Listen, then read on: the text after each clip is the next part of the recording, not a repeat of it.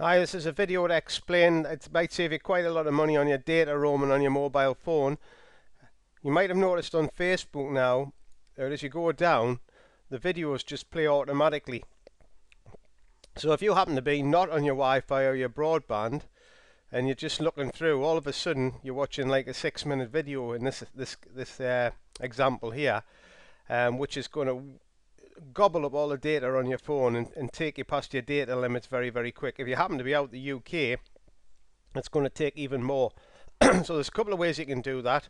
Uh, first of all, if you're logging on your on your on your iPhone or, or whatever smartphone you are, you can change it that way. But if you actually actually logging on onto this through a different way, um, if you're logging on onto like Facebook but not through the Facebook app, what you need to do is you actually need to change the settings on your Facebook page.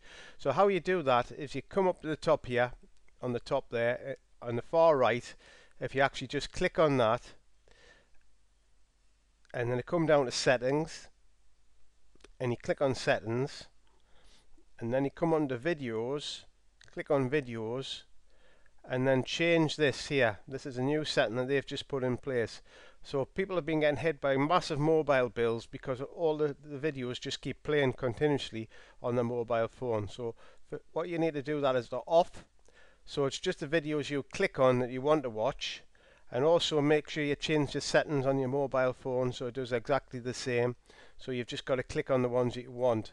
It's perfectly fine when you're on Wi-Fi, it's free or your own home broadband but if you're not, it really gobbles up the data on your allowance and that can give you a very, very, very big bill, especially if you're out of the UK. So hope that tip helps.